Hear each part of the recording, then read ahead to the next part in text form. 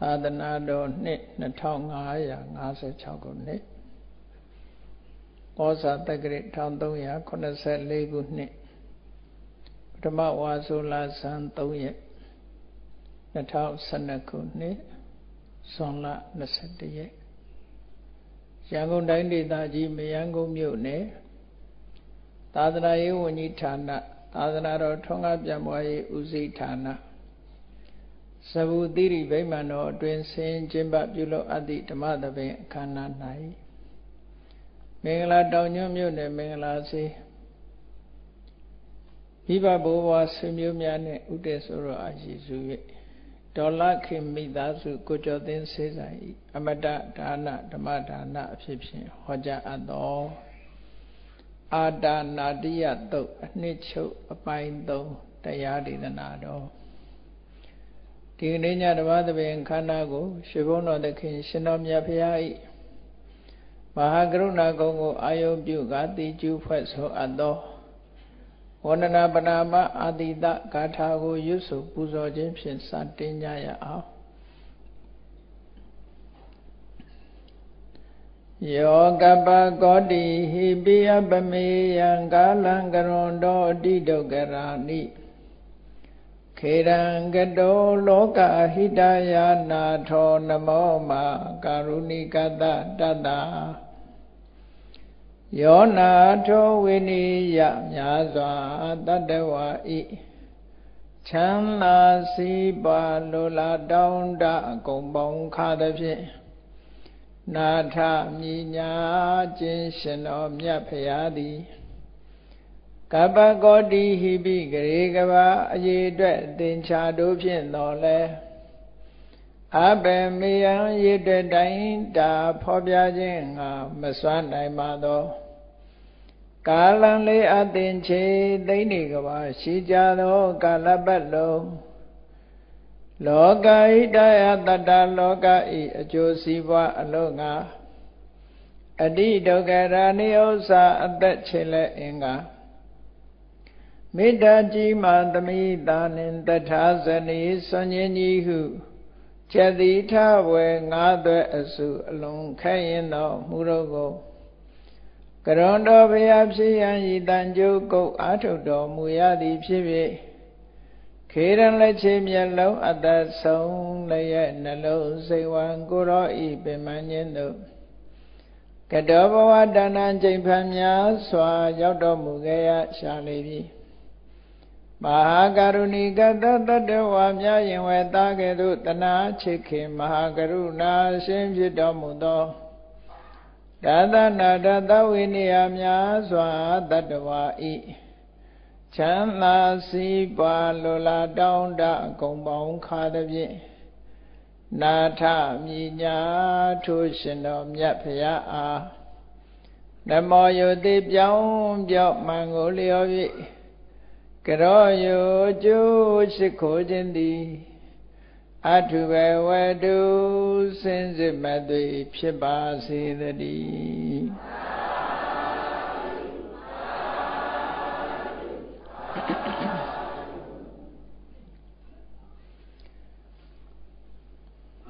အာတနာတိယသုတ်အနှစ်ချုပ်အပိုင်း3 နံပါတ်7ကထာဥပေတာဗုဒ္ဓဓမ္မေဟိအထာရတဟိနာယကာမြတ်စွာဘုရားရဲ့ခုံတော်တွေကိုထုတ်ဖော်ပြတဲ့အခါဖះဆူဆူဖះဆိုဒီမှာဘယ်ဖះပဲဖြစ်ဖြစ်ဒီဂုံကြီးချင်းနေရှိရမယ်လို့ဒီလိုဆိုတော့ အဲ့တော့မှဒီဂုံကြီးချင်းနေမရှိရင်ဒါဖះမဟုတ်ဘူးပေါ့နော်ဖះမဟုတ်ဘူးဖះဖြစ်တယ်ဆိုတာဒီအည်ချင်းနေရှိမှဖះဖြစ်တယ်အလုံးဖះတွေရဲ့အည်ချင်းဟာတူညီကြမတူညီတာကအရအမောင်းမတူညီဘူးတက်တန်းမတူညီဘူးရောင်ကြီးတော်မတူညီဘူးဒီလိုအချိန်ပိုင်းခြားမှုမတူညီဘူး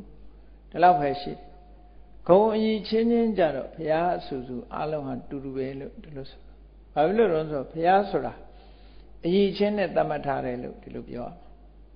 ကြံတဲ့ဟာနဲ့တမတ်တာမဟုတ်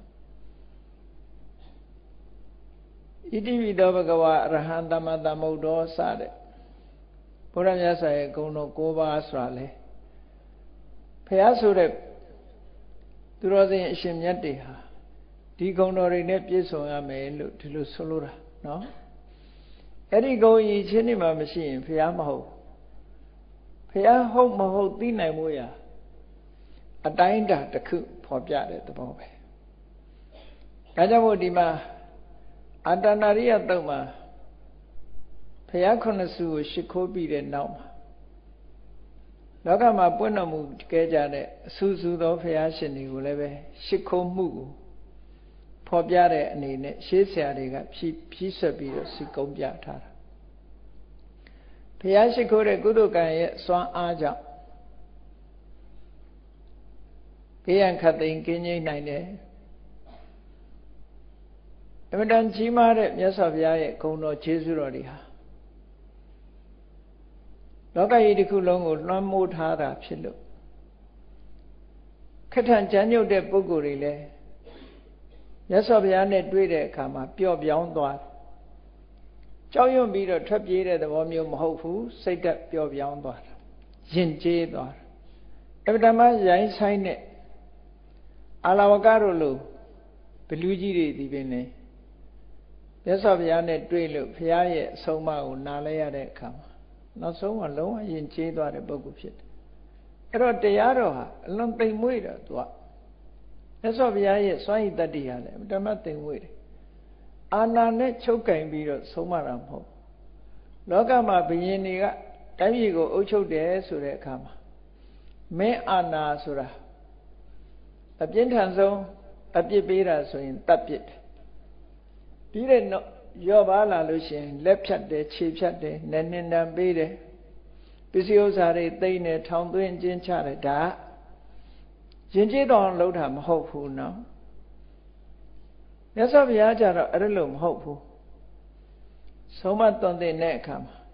စိတ်ထက်ပြောင်းသွားတာပြောင်းသွားပြီးတော့လိမ္မာရင်ကျေးသွားတယ်နောက်ဆုံးမှာအာလဝကကြီးတို့ဆိုဘလောက်ရင်ကျေးသွားလဲလို့ဆိုရင်သူဟာသောအဟံဝိစရိတာမိဂာမာဂာမာပုရံပုရံ နမတ္တမာနောတံဗုဒ္ဓံတတ္တမတ္တသဓမ္မတ္တသသူဓမ္မတံသူကိုယ်တိုင်ပြောတဲ့စကားတစ်ခုသူဟာရွာတရွာမြို့တစ်မြို့ရွာတရွာမှရွာတရွာမြို့တစ်မြို့မှမြို့တစ်မြို့ပေါ့ခီးတော်လာတိုင်းမြတ်စွာဘုရားကိုရှိခိုးပြီးဗုဒ္ဓရဲ့မှန်ကန်တဲ့ဗုဒ္ဓဓမ္မရဲ့ကောင်းမြတ်တဲ့ဓမ္မအဖြစ်ကို တလေးတစားအယိုသေးပြုတ်ပြီးတော့သွားပါမယ်လို့အတ္တမရိုင်းဆိုင်တဲ့ချမ်းချမ်းတန်းတဲ့ဘလူးကြီးကအဲ့လိုလိမ္မာရင်ကျေးသွားတဲ့ပုဂ္ဂိုလ်ဖြစ်သွားတာအဲ့ဒါလို့ဖရာတွေဆိုတာစွန့်ရည်တတိအမတမရှိတယ်လိမ္မာရင်ကျေးအောင်ဆုံးမတဲ့နေရာမှာတခြားပုဂ္ဂိုလ်တွေတဲ့ထူခြားတယ်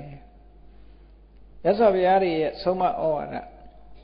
ဆိုတာလူကိုယဉ်ကျေးစေတဲ့အရာသာဖြစ်တယ်။ by force နဲ့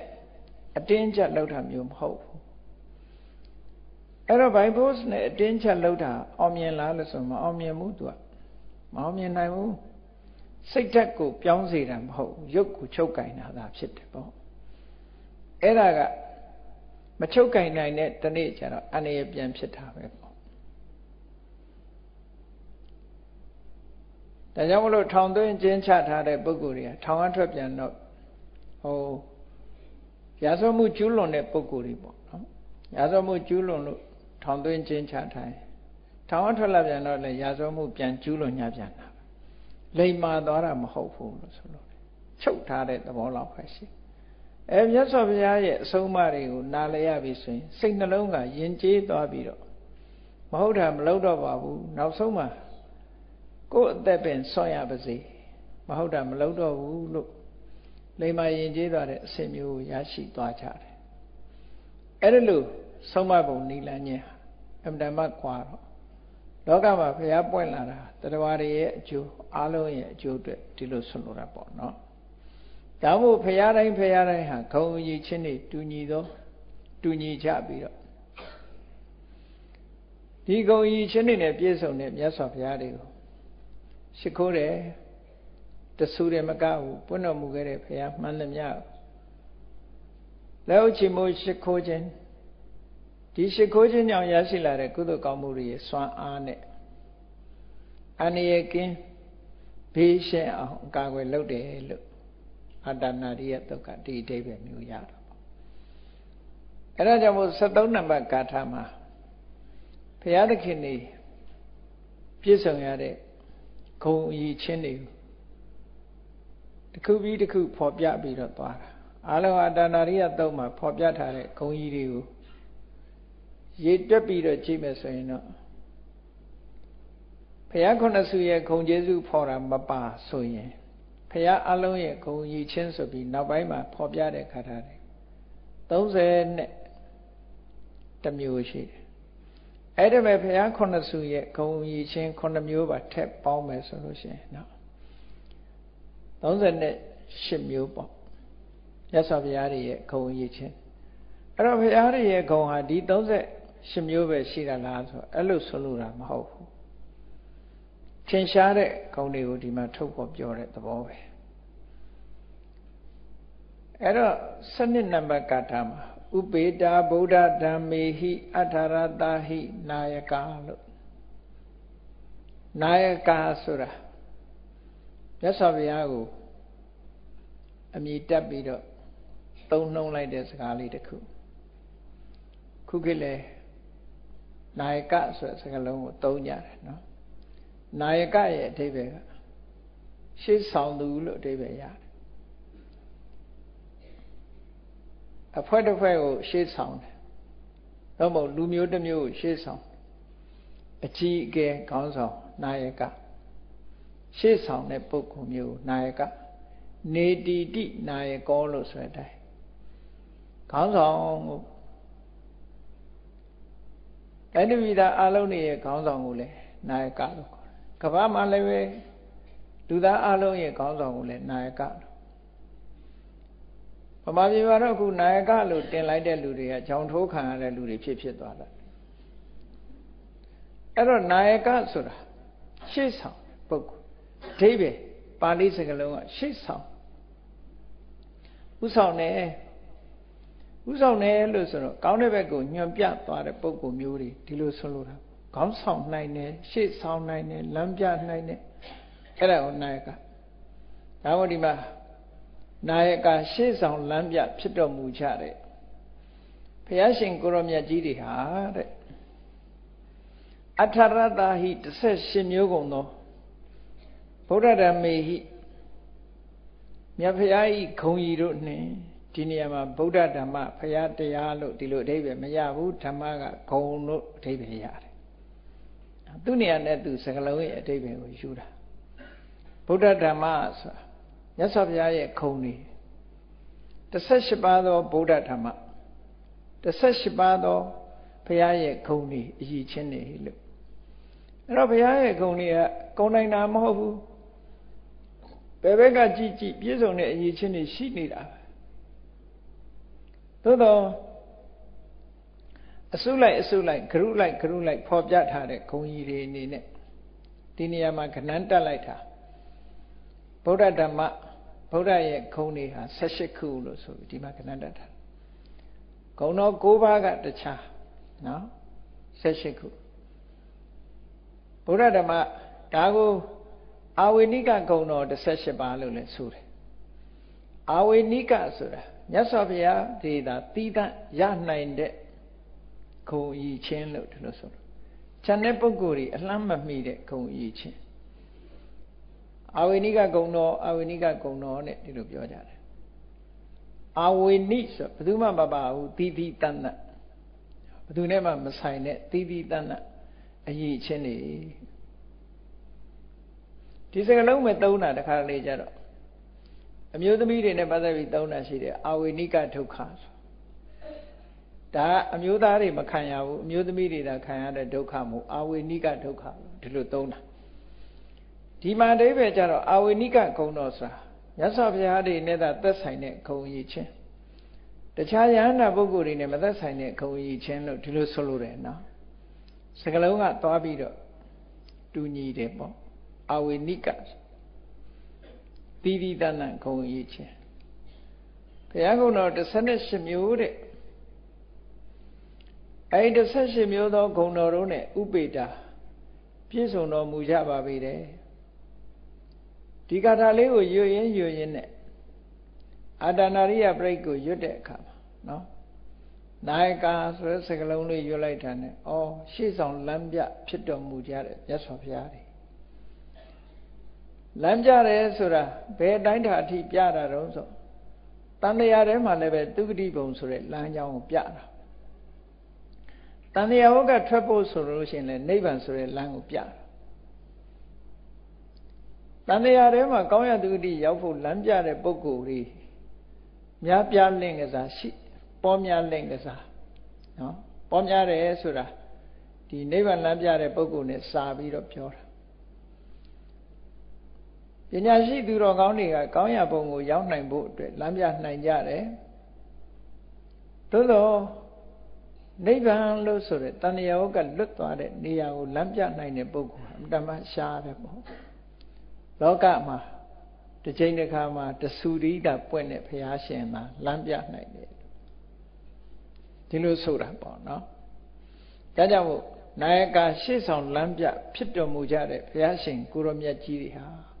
တကယ်ကိုရှေ့ဆောင်လမ်းပြတခြားကိစ္စတွေမှာရှေ့ဆောင်တဲ့လူတွေပေါ်တယ်နော်ဒုမှုရေးကိစ္စမှာလည်းရှေ့ဆောင်နိုင်ကြတယ်စီးပွားရေးကိစ္စမှာလည်းရှေ့ဆောင်နိုင်ကြတယ်နိုင်ငံရေးကိစ္စမှာလည်းရှေ့ဆောင်နိုင်ကြတယ်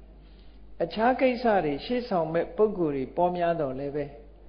အခုလို့တန်တရားဝကလွတ်ဖို့ဆိုတဲ့နိဗ္ဗာန်ကိုရှေ့ကနေပြီးတော့ခေါ်ဆောင်သွားနိုင်တဲ့ပုဂ္ဂိုလ်ဆိုတာအင်တန်မှရှားတယ်ဖရာသခင်ကိုရမြတ်များတာတခေနာယကအစ်စ်ပါလို့ဒီလိုပြောလို့ရတယ်ပေါ့နော်ဒါဖရာရဲ့ဂုဏ်ကိုကြီးညိုလို့ရနာယကနိဗ္ဗာန်ကိုရှေ့ဆောင်လမ်းပြပြုတော်မူကြတဲ့ဘုရားရှင်ကိုရောမြတ်တွေဟာ အတ္တရတဟိဗုဒ္ဓတမဟိ18မျိုးသောဗုဒ္ဓတို့ဤခုံရီတို့နှင့်ဥပေတာပြည့်စုံကြတာကြီးပဲဖြစ်တော်မူကြပါတယ်ဘယ်ဖရာပဲဖြစ်ဖြစ်18မျိုးနဲ့ဘုရားခုံတော်တွေ18မျိုးနဲ့ပြည့်စုံကြတယ်တဲ့အဲ့ဒီ18မျိုးသောဂုဏ်တွေကိုအာဝိနိကလို့ဂုဏ်တော်လို့ခေါ်ပြီးတော့စာပေကျမ်းဂန်မှာဘယ်နေရာတွေမှာဖော်ပြလိရှိသလဲလို့ဆိုလို့ရှိရင် ဝိပင်းကျမ်းကြီးကိုဖွင့်ဆိုတဲ့အခါအဘိဓမ္မာ9ကျမ်းတွေကဓမ္မသင်္ကနီကျမ်းဝိပင်းကျမ်းဆိုတာဝိပင်းကျမ်းကိုဖွင့်တာရှိတယ်အဲ့ဒီဝိပင်းကျမ်းကြီးက chapter ပေါင်းအခန်းကဏ္ဍပေါင်း18ခုရှိတယ်18ခုရှိတော့ကန္တ18ရက်နဲ့လိုက်လျောညီတွေဖြစ်အောင်တက္ကရာဆရာကြီးတွေကလည်းအမှန်တမ်းညံကြီးတာညံကြီးတော့ ကန္တ18ရက်နဲ့ကိုက်ညီတဲ့ဘုရားဂုဏ်တော်တွေကိုထက်သွင်းပြီးတော့18ရက်တော်ဘုရားဂုဏ်တော်တို့နဲ့ပြည့်စုံတဲ့မြတ်စွာဘုရားအားရှိခိုးပြီးတော့ဝိပင်းချမ်းကြီးကိုဖွင့်နေတဲ့ဟောဒီဂုဏ်တော်တွေနဲ့မြတ်စွာဘုရားကိုရှိခိုးတယ်ဂုဏတော်9ပါးနဲ့ရှင်မခိုးပဲနဲ့ဒီ18ခုနဲ့ရှိခိုးတာဘာဖြစ်လို့လဲကျမ်းကလည်းအခန်းကဏ္ဍ18ခုရှိတယ်ဒါကြောင့်မို့လိုက်လျောညီတွေဖြစ်အောင်အထရတဗုဒ္ဓဓမ္မ မြတ်စွာဘုရားရဲ့ဂုဏ်ကြီး18မျိုးကိုဖော်ထုတ်ပြီးတော့အဲ့ဒီ18မျိုးသောဘုရားဂုဏ်တွေနဲ့ပြည့်စုံတဲ့မြတ်စွာဘုရားကိုရှိခိုးပြီးတော့ဝိပင်းကျမ်းကြီးကိုဖွင့်တယ်အဲ့ဒီဝိပင်းကျမ်းဆိုတာသာသနာတော်မှာအလွန်အရေးပါတယ်။ဘာဖြစ်လို့လဲဆိုရင်စကလုံးရဲ့အဓိပ္ပာယ်တွေကိုတိမ်ပါရိမ်ပါမရှိအောင်တိတိကျကျဖွင့်ပြထား ဘုရားရဲ့တရားတော်တွေကိုကြာကြာနာနာလေ့လာတဲ့ပုဂ္ဂိုလ်တိုင်းပုဂ္ဂိုလ်တိုင်းဟာအဲ့ဒီဝိပင်းညာကဖွင့်ဆိုထားတဲ့အဓိပ္ပာယ်တွေမတိမ်ရရအောင်မှတ်သားကြ။ဒါကြောင့်မို့စကလုံးဆိုတာတခါတရံကြတော့ဖွင့်ဆိုရှင်းလင်းရတာတို့ကန့်တက်ပေးရတာတို့ဒီလိုရှိတယ်လူတွေရဲ့ဝါဟာရဆိုတာပြည့်စုံတာမဟုတ်ဘူးမပြည့်စုံတော့အကန့်အသတ်တွေနဲ့ပြောရတယ် စကလုံးကိုပံ့ပိုးပေးရတယ်ပံပိုးမပေးလို့ရှိရင်စကလုံးကလွဲမှားတဲ့လွဲချော်သွားတဲ့အဓိပ္ပာယ်တွေကိုဖော်ပြနိုင်နေတယ်လေလူရဲ့စကလုံးဆိုတာ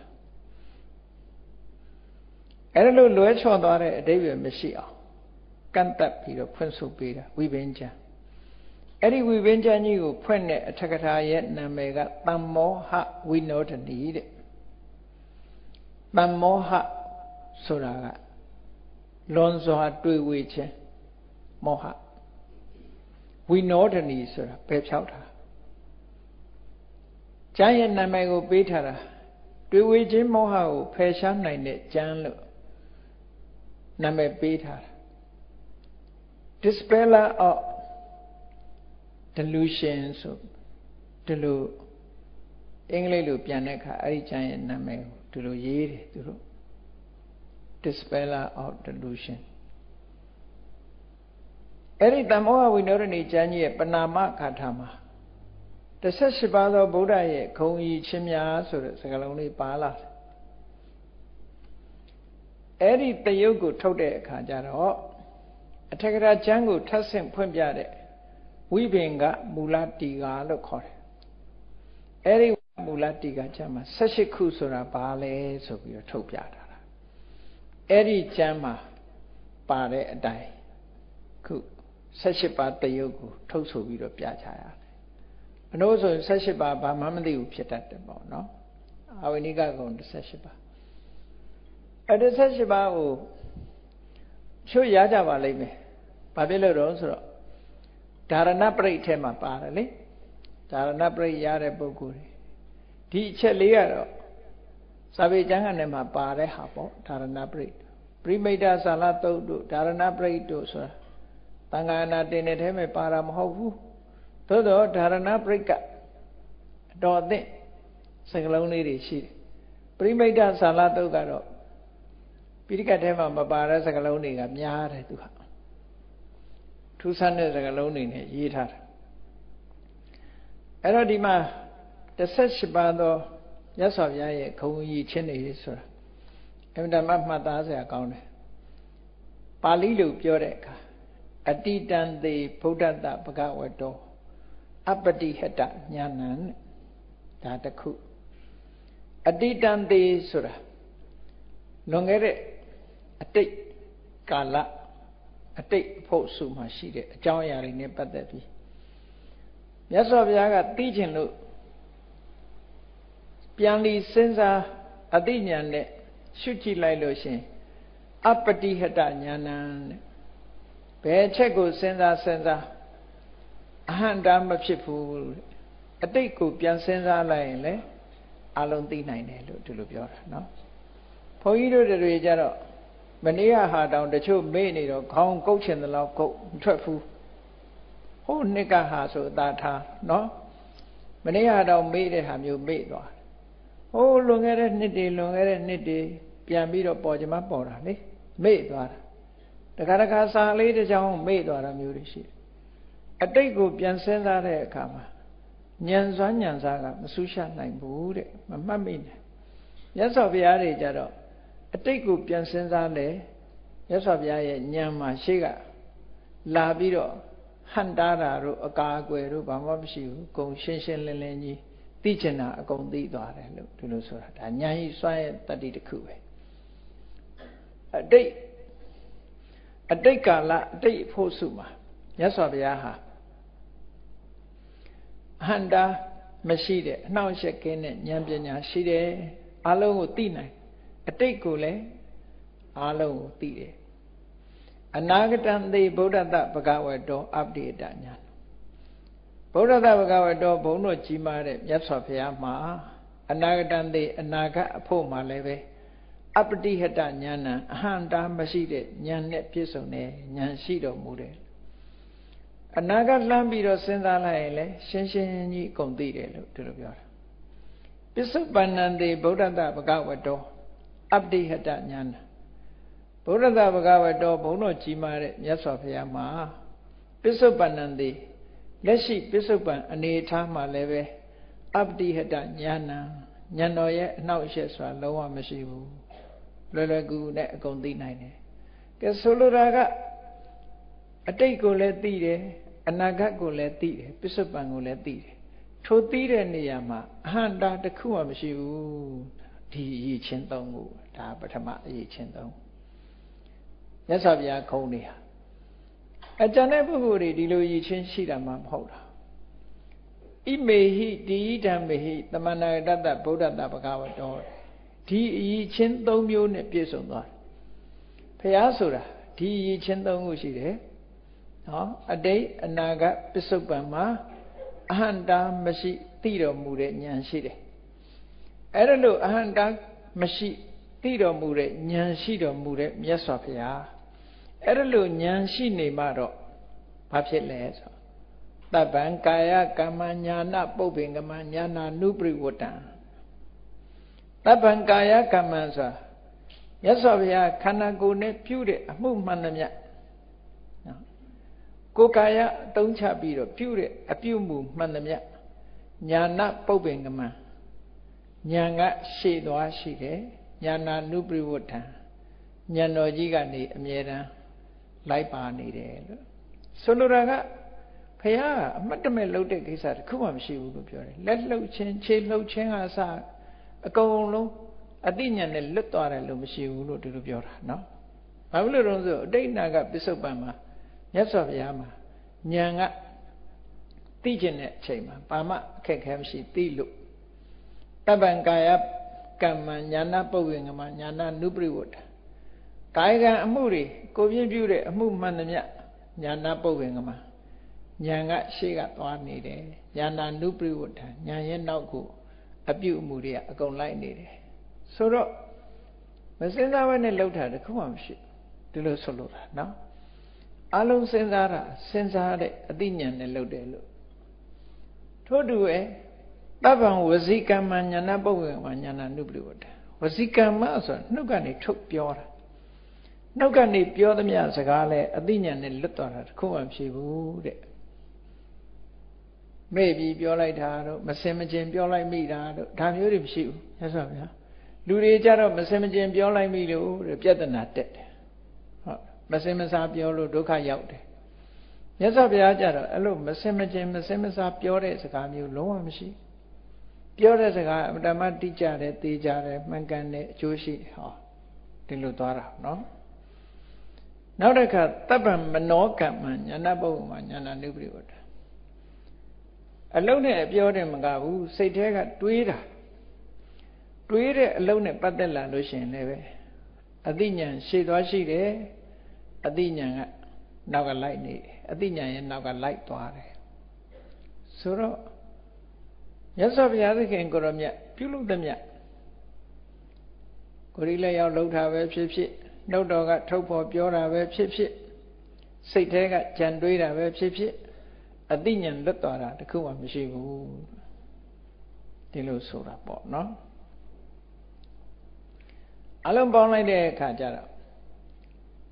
ခုနတော့ကအတိတ်နာကပစ္စုပန်မှာအဟန္တာမရှိသိတဲ့ဉာဏ်အဲ့ဒါလို့သိလို့လုံးသမျှပြောသမျှကြံသမျှတွေဟာလဲအသိဉာဏ်ရှိသွားရှိတယ်ဆို6ခု ဣမေဟိသာဟိဓမ္မေဟိဒီ6ပါးသောဂုံကြီးတို့ ਨੇ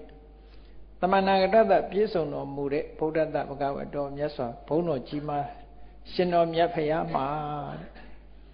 အဲ့ဒါလို့ဉာဏ်နဲ့ကင်းလွတ်သွားတဲ့ဟာတခုမှမရှိတဲ့မြတ်စွာဘုရားမှာဘာဂုံကြီးတွေရှိသေးတယ်လဲဆိုရင်နတ္ထိသန္တတဟာနိ စိတ်ဆန္ဒတော်ရဲ့ရုပ်လျော့သွားတာဆိုတာမရှိဘူးမြတ်စွာဘုရားဆိုပါစို့တရားရဲ့အကျိုးကိုတည်ဖို့ဖို့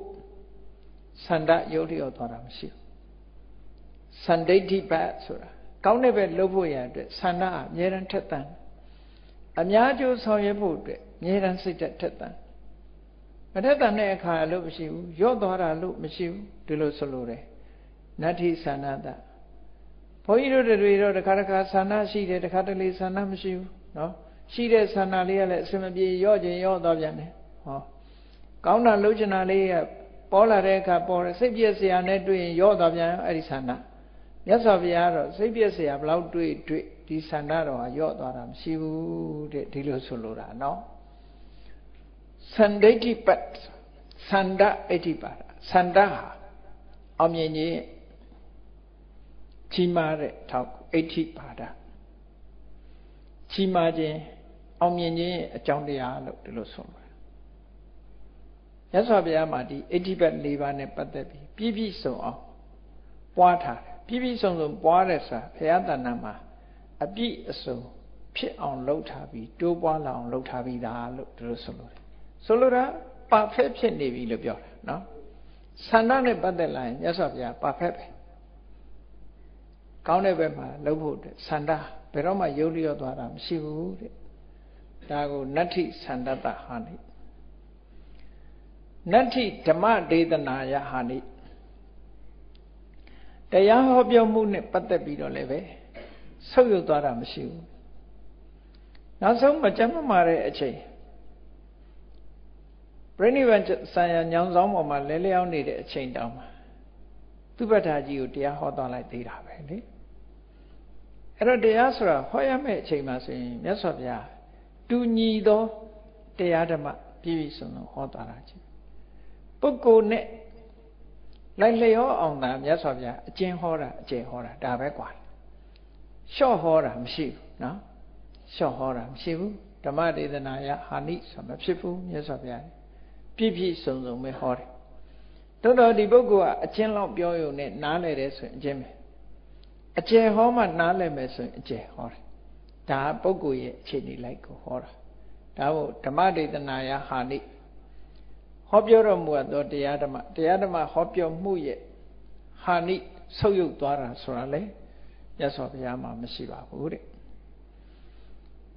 နောက်တစ်ခုနတ္ထိဝီရိယတဟာနိဝီရိယဆိုတာကျိုးပန်းအထုတ်မှု ကျိုးပန်းအထုတ်မှုကြိုးစားမှုနဲ့ပတ်သက်လာလို့ရှိရင်မြတ်စွာဘုရားမှာလုံလဝီရိယရော့ပါသွားတဲ့အခါလို့ဘယ်တော့မှမရှိဘယ်တော့မှလုံလဝီရိယဟာဟိနဝီရိယရော့ကျသွားတဲ့ဝီရိယမျိုးဘယ်တော့မှမရှိဘူးဝီရိယဋ္ဌိပတ်ခေါ်အဋ္ဌိပါဒအောင်မြင်ကြီးပွားခြင်းရဲ့အကြောင်းဖြစ်တဲ့ ဝီရိယကိုလည်းပဲအစွမ်းကုန်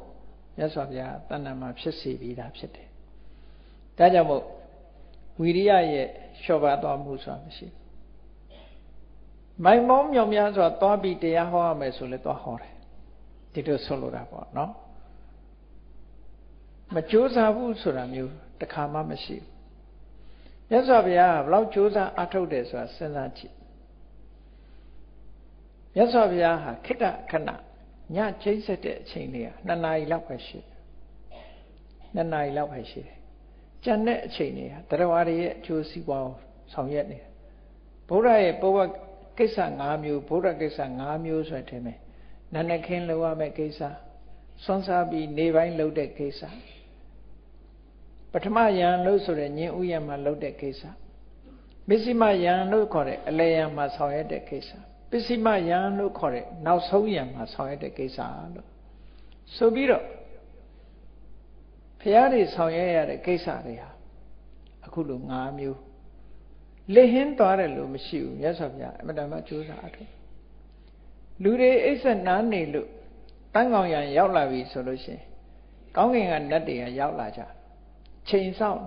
လူတွေအိပ်တဲ့အချိန်ကိုဆောင်အဲ့ဒီ လူတွေအိပ်ဆက်ပြီးနားနေသွားပြီဆိုတဲ့အချိန်မှာဒီနတ်တွေပြမာတွေကရောက်လာပြီးမိခွန်းတွေမေးကြတယ်အဲ့ဒီမေးတဲ့မိခွန်းတွေကိုဖြေဆိုပြီးတော့ပေးရတယ်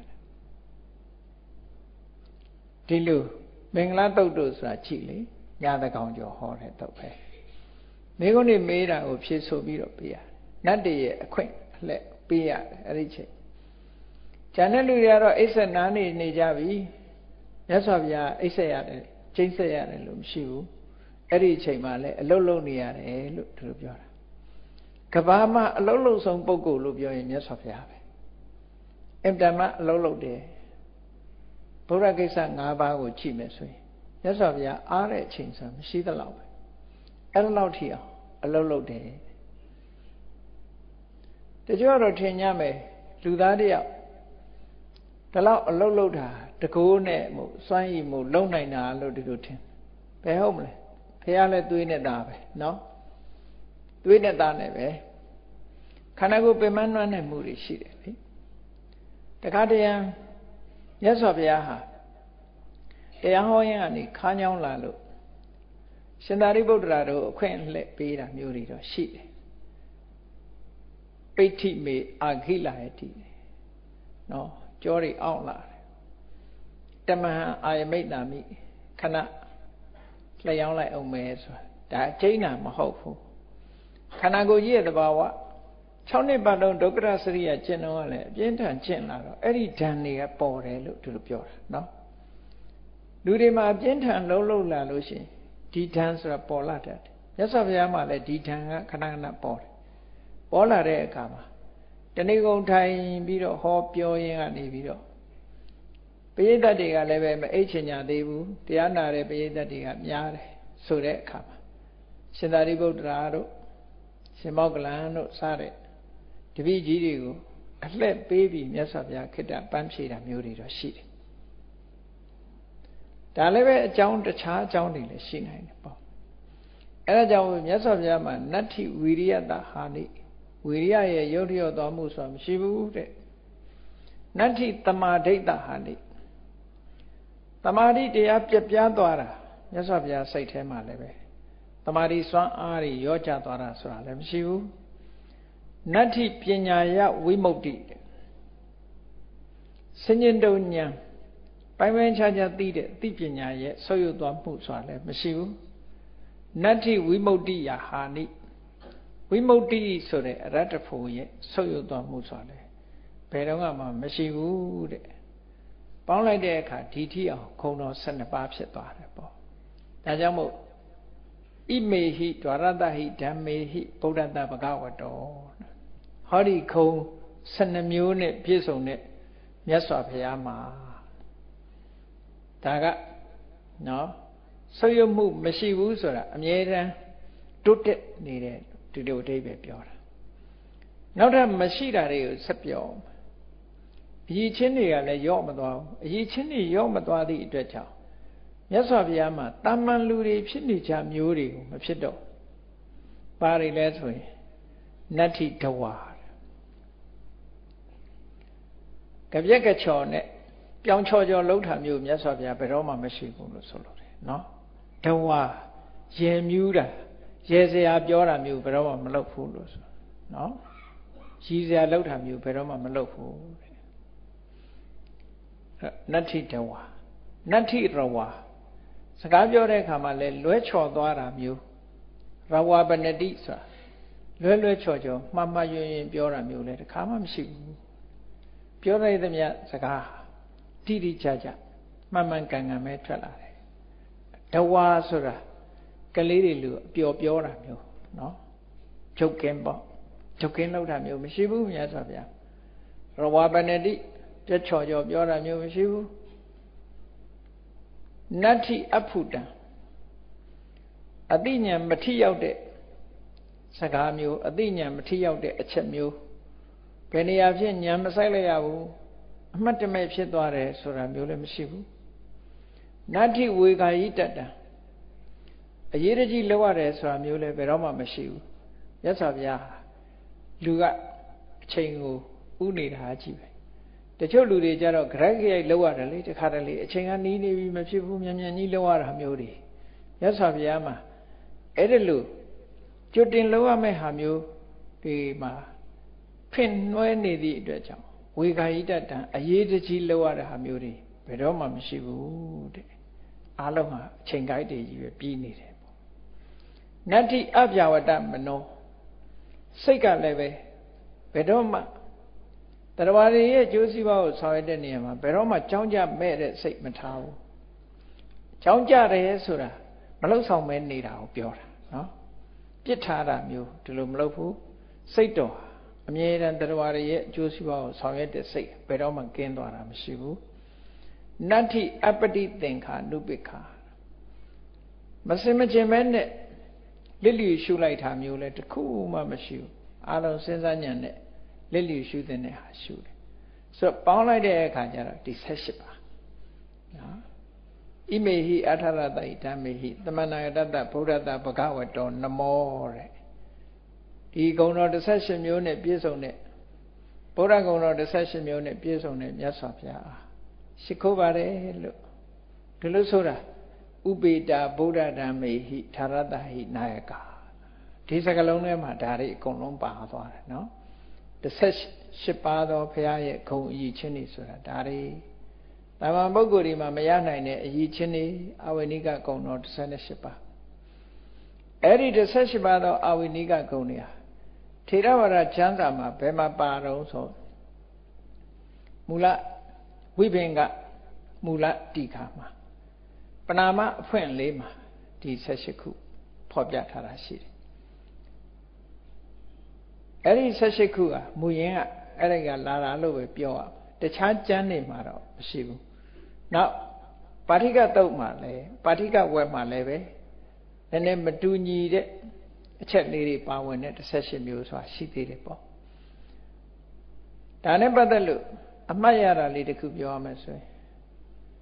တိရိလင်္ကာနိုင်ငံမှာမာစတာဒန်တက်နေတော့က Japanese Buddhism Buddhism ကိုပို့ချတယ် Mr. Indor ဆိုတာဂျပန်ဗမောက္ခတယောက်ရှိတရက်တော့အဲ့ဂျပန်ဗမောက္ခကမေးတယ်ဘုန်းကြီးတို့ဒီအာဝိနိကဂုဏ်တော်18ပါးပိဋကစာပေထဲမှာဘယ်မှာပါလဲပေါ့ဘယ်မှာပါလဲလို့ဆိုဘုန်းကြီးတို့အဲ့ဒီမူလဝိဘင်္ဂမူလတိကအဖွင့်မှာရှိတယ်လို့ ဆိုပြီးတော့သူ့ကိုဒါကိုရွတ်ပြငယ်ငယ်တော့လည်းဒီအာဝိနိကဂုဏ်တော်တွေကျက်ဖူးထားတော့ရနေတာပေါ့လေများသောအားဖြင့်တော့ဗမာဘုန်းကြီးတွေကအကျက်တန်တယ်လို့ပြောမှာပေါ့နော်နှုတ်ထက်ရနေတာများတယ်အဲဒါကိုပဲချက်တာကိုပဲအပြစ်ပြောတဲ့လူတွေကလည်းပြောတယ်နိုင်ငံခြားလူတွေကျတော့ memorize လုပ်တာကိုပဲအပြစ်ပြောတာမျိုးတွေရှိတယ်ဒါမှားတယ်ပေါ့နော် memorize လုပ်တဲ့နဲ့လုပ်ကိုလုပ်အောင်မှတ်ထား အဲ့တော့သူတို့မေးတဲ့အခါကျတော့ဒီဟာကိုသူ့ကိုရွတ်ပြတယ်ဒီပါဠိကိုရွတ်ပြတဲ့အခါကျသူကပြောတော့ဆိုမဟာယာနကျမ်းစာမှာလည်းပဲပါတယ်တဲ့ဒီတိုင်းပဲလို့သူကပြောဘူးတယ်အဲ့တော့မဟာယာနကျမ်းစာမှာပါတယ်ဆိုတာသူပြောလို့သိရတယ်ပေါ့လေမဟာမဟာယာနကျမ်းစာမှာပါတဲ့ဗုဒ္ဓရဲ့ခုံတော်18ပါးဆိုတာလေဒီတိုင်းပါပဲလို့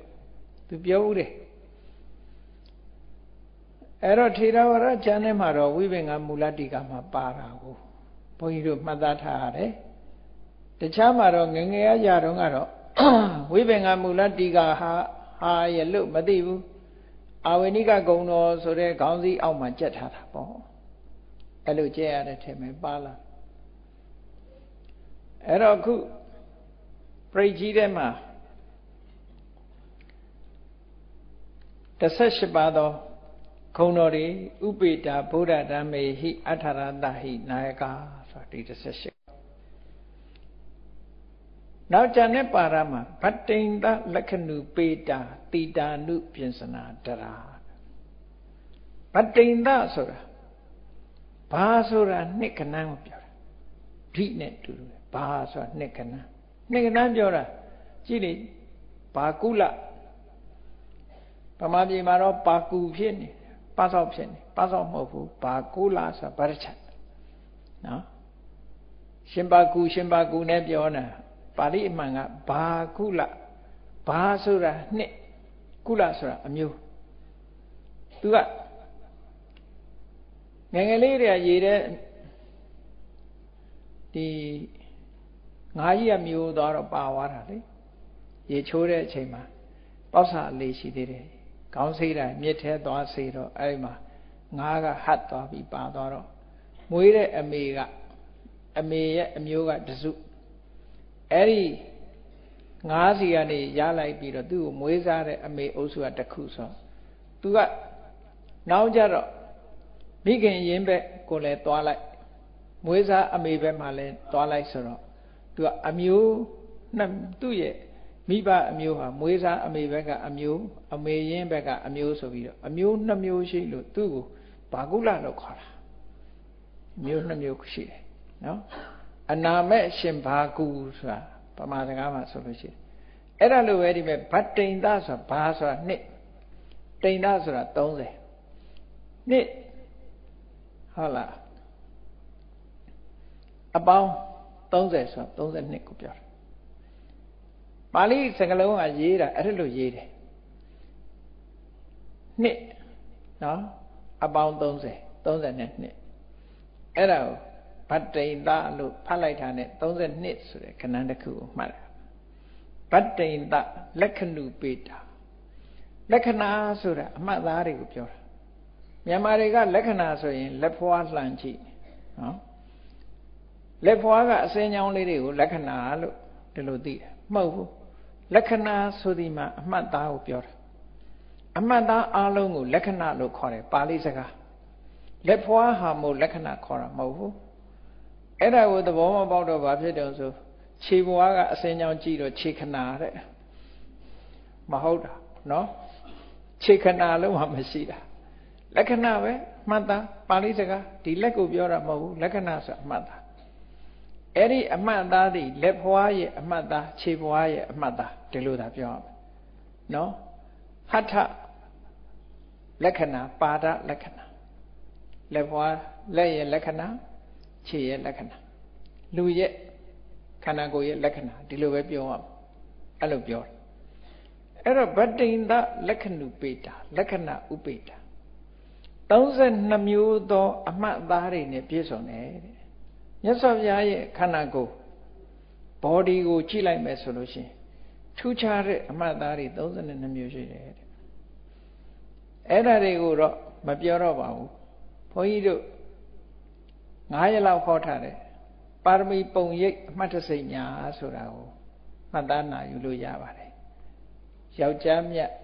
မဟာပုရိသလက္ခဏာ32မျိုးစာအုပ်ထဲမှာရှာဖတ်ချင်ရင်တော့မဟာဗုဒ္ဓဝင်ထဲမှာလည်းဖတ်လို့ရမယ် မူရင်းချမ်းကတော့ပါဠိကဝက်လက္ခဏာတုတ်ဆိုတာရှိတယ်ပါဠိကဝက်မြန်မာပြန်ပါဠိတော်အဲလက္ခဏာတုတ်ဆိုတာရှိတယ်ယောက်ျားမြတ်လက္ခဏာသို့မဟုတ်မဟာပုရိသလက္ခဏာ32မျိုးအဲ့ဒီ32မျိုးဆိုတာဗေဒကျမ်းနေမှာလာတဲ့32မျိုးဗေဒကျမ်းနေမှာဒီအမှတ်သားရှိတဲ့ပုဂ္ဂိုလ်ဟာဒီသူ့ရဲ့ဘဝ destination ပေါ့သူ့ရဲ့ဘဝဟာ နှစ်ခုပဲရွေးချယ်ရသူ့အတွက်နှစ်ခုပဲရှိတယ်တစ်ခုကဘာတော့ဆိုလူဘဝမှာနေရင်စัจ जा မယ်လူဘဝခွာချောင်ပြီးတော့တောထွက်ရင်ဖရာဒီနှစ်လမ်းနှစ်သွယ်ပဲရှိတယ်ဒီလက္ခဏာအမှတ်အသားတွေ32မျိုးပြည့်ပြည့်စုံစုံရှိတဲ့ပုဂ္ဂိုလ်ဟာဒီလမ်းနှစ်သွယ်တည်းကတစ်ခုခုဧကမယ်ဖရာရင်လည်းဖြစ်မယ်စัจ जा ဝရမင်းရင်လည်းဖြစ်မယ်ဒီနှစ်ခုပဲဒီလိုဆိုလို့တယ်အဲ့တော့စัจ जा မင်းဖြစ်တဲ့ပုဂ္ဂိုလ်ကလည်းဒီ 32မျိုးရှိရမယ်ဖျားဖြစ်တဲ့ပုဂ္ဂိုလ်ကလည်းဒီ32မျိုးရှိတယ်ဒီလိုဆိုလိုတာနော်ဘာကြောင့်ဒီလက္ခဏာတွေကိုရတယ်ဆိုတာမြတ်စွာဘုရားကလက္ခဏာတုတ်တံမှာပြည့်ပြည့်ဝဝဟောထားတာရှိတယ်ပါရမီပုံရိပ်အမှတ်တစိမ့်များဆိုတာကိုမှတ်သားကြည့်မယ်ဆိုရင်ဒီဒီရဲ့တရုပ်တွေကိုတည်တည်ချာချာသိနိုင်တယ်အလွယ်တကူကြည့်ကြလို့ရှိရင်တော့တပြေခံပရိတ်ကြီးနေတရတဲ့မှလည်းပဲဒီဟာကို မြန်မာလိုရှင်းပြီးတော့ရေးထားတာရှိတယ်ပေါ့ပြေကြီးနေတရားမှာလည်းပဲဒါပါတယ်လို့အဲ့ဒါတော့ပဲညွှန်လိုက်တော့မယ်နော်ဒါပြောလို့ရှိရင်မပြီးတော့ကဲအဲ့ဒီတော့နောက်တစ်ခုကဘာတော့ဆိုရင်တိတာနုပြင်စနာတရာတိတာဆိုတာရှေ့ကအတခုရှေ့ကစလုံးထဲမှာပေါင်းထားတယ်ဗတ္တိန်သလက္ခဏုပေတာနဲ့တိတာဆိုတာပေါင်းထားတာ ခွဲလိုက်တဲ့အခါအတိတိအနုပြင်စနာဒရာလို့ဒီလိုအတိတိဆိုတာ80လို့ဒီလိုအဓိပ္ပာယ်ရတယ်အတိတိ80သောအနုပြင်စနာလက္ခဏာတော်ငယ်လက္ခဏာကြီးတွေမှာပါဝင်လာတယ်လက္ခဏာငယ်ဥပမာလက်ပွားမှာဆိုလို့ရှိရင်လက်ချောင်းတစ်ချောင်းမှာဒီလက်လက်တစ်ခုမှာဆိုလို့ရှိရင်လက်ချောင်း၅ချောင်းပါတာကိုအဲ့ဒီ လက်လို့ပြောလိုက်တဲ့ဟာထဲမှာဒီလက်ချောင်း၅ချောင်းပါတယ်အဲ့ဒီလက်ဆိုတဲ့အကြီးကဒါတစ်ခုအင်္ဂါတစ်ခုအဲ့ဒီမှာအနုပြင်စနာကြတော့အဲ့ဒီလက်ထဲမှာပါတဲ့လက်မာတို့လက်ညှိုးတို့အဲ့ဒီမှာလက်သေးတို့ဘာတို့ဒါမျိုးတွေပေါ့အသေးစိတ်လေးတွေကိုဆိုလိုတာပေါ့နော်အစိတ်ပိုင်းလေးတွေကိုထပ်ပြောပြန်တယ်အဲ့တော့လက္ခဏာတော်ငယ်က80လက္ခဏာတော်ကြီးက32လက္ခဏာတော်ငယ်80တဲ့ အဲ့ဒီ80ကတော့ရှားရှားပါပါနော်မှတ်ဖို့သားဖို့ကလည်းအမှန်တမ်းများလွန်အကြီးတယ်80ကြီးမှတ်ရမှာဆိုတော့ဘုရားရဲ့လက္ခဏာတော်တွေကိုလက္ခဏာတော်ငယ်80တွေကိုသိကျင်လို့ရှိရင်လေခုနကပရိကြီးနေတရားကိုလည်းကြည့်ပေါ့မဟာဗုဒ္ဓဝင်လည်းရှိကောင်းရှိနိုင်တယ်ပေါ့တရားနော်ဒါတွေကကျမ်းကြီးကျမ်းဂိုင်တွေမှာတော့သေးသေးချာချာထုတ်ဖော်ရေးသားထားတာမရှိဘူးတရား ပါဠိကျမ်းတွေမှာအများကြီးမရှိဘူးပါဠိကျမ်းဆိုတာပါဠိတော်တို့အထက်ကထာတို့လို့ဆိုရယ်ကျမ်းကြီးတွေတိုက်ရိုက်ဖွင့်ဆိုထားတာတွေမရှိဘူးတဲလွန်စာလေးတွေလောက်ပဲရှိကောင်းရှိမယ်အဲဒါကြောင့်မို့လက္ခဏာတော်ကြီး32လက္ခဏာတော်ငယ်80တို့နဲ့ပြည့်စုံတော်မူကြတယ်ဖះမှန်လို့ရှိရင်ဒါတွေနဲ့ပြည့်စုံတယ်လို့ဒီလိုဆိုလိုတာအဲ့ဒါကိုအာယုံပြုတ်ပြီးတော့ရှ िख ုံးလို့ရတယ် ဒီမှာဖះကုံတော်တွေကြီးပဲထုတ်ဖော်နေတာနောက်73နံပါတ်ခါထားကြတော့ဗျမ္မပပယတုတ်ပပါတပ်ပိတေမုနိကုံစရာကုံစရဆိုတဲ့စကားလုံးကမုနိကုံစရာကုံစရဆိုတဲ့စကားလုံးကသူတလုံးနဲ့နေလို့ရှိရင်ဆင်မြောင်တို့ဘာလို့ကိုဟောတယ်ရှေ့ကစကားလုံးတစ်လုံးနဲ့တွေးလို့ရှိရင်သူကမြတ်တော်လို့အဓိပ္ပာယ်ရသွားတယ်ဒါကစာပေရဲ့အဓိပ္ပာယ်ပေါ့နော် တပ်ပိတေမုနိကုံစရာမုနိကုံစရာဖျားမြတ်ဖြစ်တော်မူကြတဲ့မြတ်သောမုနိဖြစ်တော်မူကြတဲ့တပ်ပိကျွဲ့မဲ့ဥဒုံလုံးစုံသောတေထုဖျားရှင်ကိုရမြတ်ကြီးတို့ဟာဗျမပပယခန္ဓာကိုယ်ကထွက်တဲ့တလန်လောကိုရောင်တော်ဖြစ်တုတ်ပပါတုတ်ပပါထွံ့ပြောင်သောရောင်ကြီးတော်တွေရှိကြတယ်ဆိုလိုတာက ဖရာတိုင်းဖရာတိုင်းခန္ဓာကိုယ်ကရောင်ကြီးထွက်ကြဂေါရမမြတ်စွာဘုရားကဒီတလန်းမြသောရောင်ချီတော်ဗြဟ္မပပါရောင်ချီတော်ရှိတယ်လို့ဒီလိုဆိုတယ်အဲဆူတောင်းပြည့်တဲ့တချို့ဖရာတွေကြတော့ဒီမင်္ဂလာဖရာတို့ဆိုလို့ရှိရင်စัจ java လာကြီးတစ်ခုလုံးလင်းနေတယ်လို့ပြောတာသူအဲ့ဒါလို့ထူးခြားတဲ့ဆူတောင်းကြောင့်ထူးခြားတဲ့ဖရာရှင်တွေလည်းရှိတယ်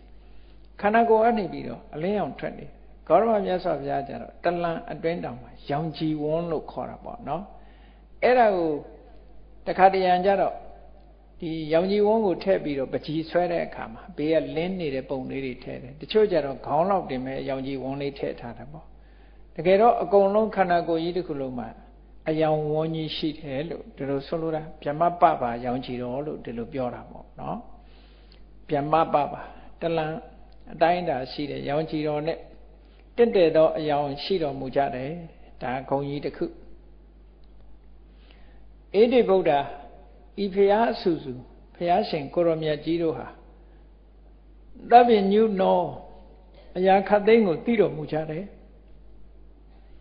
သဗ္ဗံသာနာတိတိသဗ္ဗညုသဗ္ဗံသာနန္တိတိသဗ္ဗညုနောဖရာကအရာခတ်သိမ်းကိုသိတယ် အားလုံးကိုသိတယ်လို့ဆိုတဲ့အချိန်မှာဒီနေရာမှာမြန်မာပြည်မှာထုတ်တဲ့စာအုပ်တအုပ်နဲ့ပတ်သက်ပြီးတော့နည်းနည်းတတိထားစရာလေးပြောပြမြတ်စွာဘုရားကသူ့ကိုယ်သူတပ်ပညူလို့လက်မခံဘူးတဲ့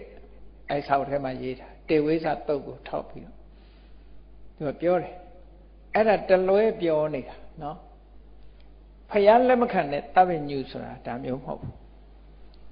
မြတ်စွာဘုရားကတပ်ပညူဆိုတာဘယ်လိုတပ်ပညူလဲလို့ဆိုရုပ်တိမရှိတဲ့ reasonable မဖြစ်တဲ့ logical မဖြစ်တဲ့အရာတွေကိုတော့ဘုရားလက်မခံဘူးလေဒါကဲစဉ်းစားကြည့်ပေါ့လူတယောက်ဟာအိတ်နေရင်သိပါမလားဘယ်သိမလဲမြတ်စွာဘုရားရဲ့တပ်ပညူကလည်းအိတ်နေတဲ့ချိန်တော့ဘယ်သိမလဲပေါ့သို့တော့မြတ်စွာဘုရားလက်မခံတဲ့တပ်ပညူကဘယ်လိုတပ်ပညူလဲလို့ဆိုဘုရားနဲ့ တခိတ္ထဲပေါ်လာတဲ့မက္ခလိခောတလစတဲ့ဒီပုရဏကသဘာတို့နောက်ပြီးတော့နိခန္ဓနာတပုဒ္ဒါတို့သူတို့လည်းတပ်ပညူလို့သူတို့ကဝန်ခံတယ်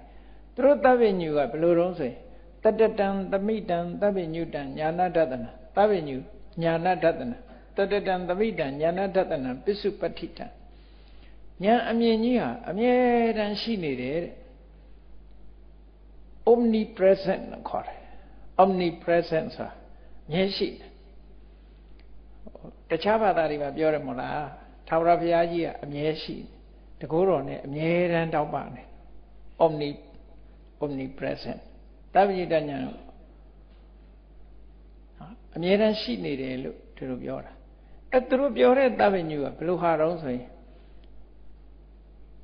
တိဋ္ဌတာသနိသိဏတာသဇာဂရတာသသုတ်တတာသတဲ့သူတို့ပြောတဲ့စကားလုံးကအချိလေ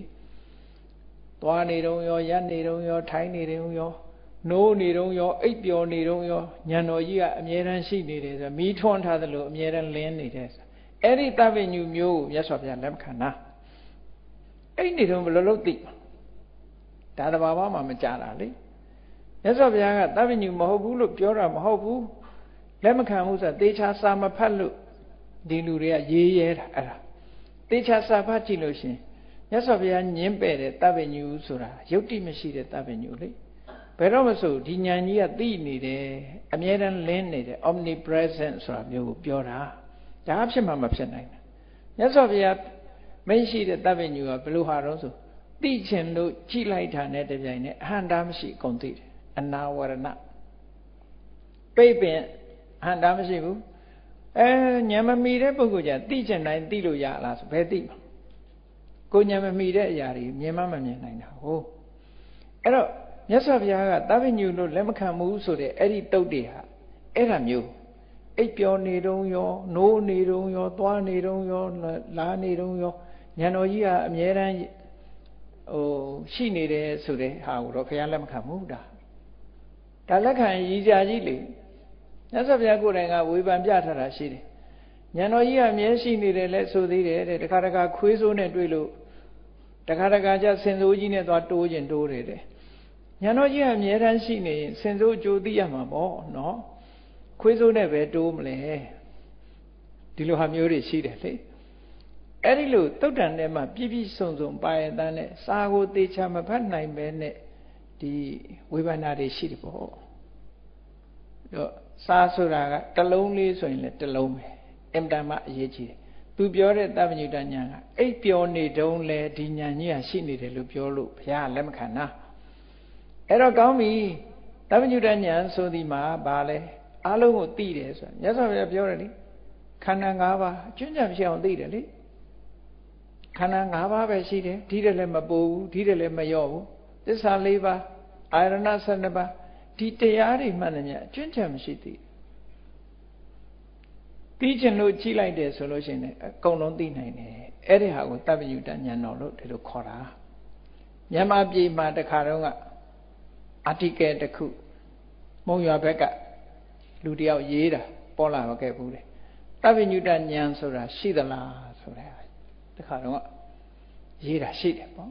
ဟိုးနည်းနည်းအသက်အရွယ် အဲ80လောက်စားပေလိုက်စားတဲ့ပုဂ္ဂိုလ်တွေဆိုကြားဘူးကြပါလိမ့်မယ်အဲ့ဒါရေးတဲ့လူရဲ့နာမည်ဆောက်ထိုးတဲ့ဒီကရေးကြတဲ့ဆောက်ထိုးဖြစ်နော်သဗ္ဗညုတဉာဏ်ဆိုတာရှိသလားဆိုပြီးသူကမရှိဘူးလို့ပြောချင်တာပေါ့နော်အဲ့တော့မြတ်စွာဘုရားဒီမှာကြည့်ဗုဒ္ဓသဗ္ဗညုနောဣတိတရားခသိန်းကိုသိတော်မူကြတယ်တဲ့သဗ္ဗညု တရားခသိန်းကိုသိတော်မူတယ်မြတ်သဗ္ဗေခိနာတဝါဇိနာသဗ္ဗေလုံးစုံကုန်သောဇိနာအောင်တော်မူသောမြတ်စွာဘုရားတို့ဟာခိနာတဝါအာတဝတရားမှန်သမျှအကျဉ်းချံမရှိအောင်ကုန်ခန်းပြီးသားဖြစ်တော်မူကြတယ်ဟောဒါဘုရားရှင်ရဲ့ခုံတွေကိုထုတ်ဖို့ပြောတာနော်ဒါတွေကိုအာယုံပြုလို့ရတာပေါ့နောက်တစ်ခါ14နံပါတ်ကထားကြတော့မဟာပပ္ပ မဟာတေစာမဟာပပ္ပဆိုတာကြီးမားတဲ့အလင်းအောင်အလင်းအောင်ဆိုဒီမှာခန္ဓာကိုယ်ကအလင်းအောင်နဲ့လည်းဆိုင်တယ်အသိပညာရဲ့အလင်းအောင်နဲ့လည်းဆိုင်တယ်မဟာတေစာကြီးမြတ်သောအစွမ်းတကိုးတွေလည်းရှိကြတယ်မဟာပညာကြီးမားသောပညာလည်းရှိကြတယ်မဟာဗလာကြီးများသောကာယဗလာညာနာဗလာနဲ့လည်းပြည့်စုံတော်မူကြတယ်စွမ်းအားတွေမတန်နဲ့ကြီးတယ်ဖရာတွေ မဟာကာရုဏိကဓိတာဖရာမှန်သမျှဟာမဟာကာရုဏိကတရားဝါတွေပေါ်မှာအကျဉ်းနာတရားထားတယ်ဘယ်တရဝါတော့ငါမတနာဘူးဆိုတာမရှိဘူးနော်တရဝါတွေအလုံးပေါ်မှာထတ်တူညီမြတ်ကရုဏာထားတယ်ဖရာကရုဏာထားတယ်တမန်ပုဂ္ဂိုလ်တွေကြတော့ကိုယ်နဲ့မတည့်တဲ့လူပေါ်မှာဘယ်ထားနိုင်မှာတော့နော်မြတ်စွာဘုရားကြတော့ ကိုယ်နဲ့တဲ့သည်ဖြစ်စေမတဲ့သည်ဖြစ်စေတရဝါအလုံးတွေပေါ်မှာညီတူညီမျှကရုဏာထားနိုင်တယ်ဒါကြောင့်မို့မဟာကာရုဏိကာဒီရာရဲရင်ထီကြည်တဲ့တမာရီစွမ်းအားတွေရှိကြတယ်တဗ္ဗေတဏ္ဏဒုက္ခဝဟံတရဝါအလုံးရဲ့ချမ်းသာဒုက္ခကိုလည်းဆောင်ယူပေးတော်မူကြတယ်တရဝါအလုံးရဲ့ချမ်းသာဒုက္ခတရဝါအလုံးကို ဒုက္ခကိုဆောင်ယူပေးတယ်လို့ဒီလိုအဓိပ္ပာယ်ရတယ်ပေါ့ဒုက္ခအာဝဟအာဝဟဆိုတာကိုယ်စီယူလာတာဝဟဆိုတာじゃယူသွားတာအဲ့ဒါကိုတတိထားဖို့လိုတယ်ဣဒံမေပုံညာအာတဝေခယာဝဟံဟောတုနော်အာတဝေခယံဝဟံဟောတုမဟုတ်ဘူးအာတဝေခယာဝဟံဟောတုအာဝဟံလို့ဆိုလိုတာနော် အာတဝေခယအာဝဟအာဝဟမှာကိုယ်စုယူလာတာအင်္ဂလိပ်ကျတော့ရှင်းတယ်လေ take ဆိုယူသွားတာ brain မှာကိုယ်စီယူလာတာလေအဲ့ဒီအဓိပ္ပာယ်မျိုးပဲအာဝဟမှာကိုယ်စီယူလာတာဖြစ်အဲ့တော့ဝဟလို့သွားဆိုရင်ယူသွားပြီကိုယ်စီပါသွားပြီဘာမှရလိုက်မှာမဟုတ်ဣဒံမေပုံညာအာတဝခယာဝဟံပြီးအောင်ဆိုတာဒီကောင်းမှုသည်အာတဝခယကို ဆောင်ယူပေးပါစေ ဒီလိုဆိုလိုတာအာတဝခယတွေကိုကိုယ်စီယူလာပါစေဒီလိုပြောတာယူသွားပါစေဆိုရင်သွားပြီအဲ့ကြမရတော့ဘူးเนาะ take away ပဲမတူဘူးအဲ့တော့ဒီမှာလည်းကြည့်ဒုက္ခဝဟဆိုဒုက္ခအာဝဟချမ်းသာကိုကိုယ်စီယူလာမြတ်စွာဘုရားယူပေးတာ15နံပါတ်ကထားကြတာဒီပါနာထာပဋိတ္တာသ တာနာလေနာသပါဏိနံပါဏိနံတတဝအာလုံးတို့ရဲ့ဒီပါမိခိုအားထားရာကျွမ်းကြီးတစ်ဖွဲ့ဖြစ်တယ်သို့မဟုတ်တရဝါအလုံးကိုအလင်းဆောင်တဲ့စီမီးတစ်ဆောင်ပမာဖြစ်တယ်ပေါ့ပင်လေထဲသွားတဲ့အခါမှာရေပြင်ထဲမှာသွားတဲ့အခါကျွမ်းမြေဆိုတာအမတန်မှအာကိုရတယ်လေအာကိုရတယ်အဲ့ဒါလိုပဲ ယက်တီနိုင်မှုအတွက်ကျွမ်းမြေဟာအမတန်မှအာကိုရမမြုပ်အောင်အာကိုရတာလို့ပဲရသော်ဗျာဟာ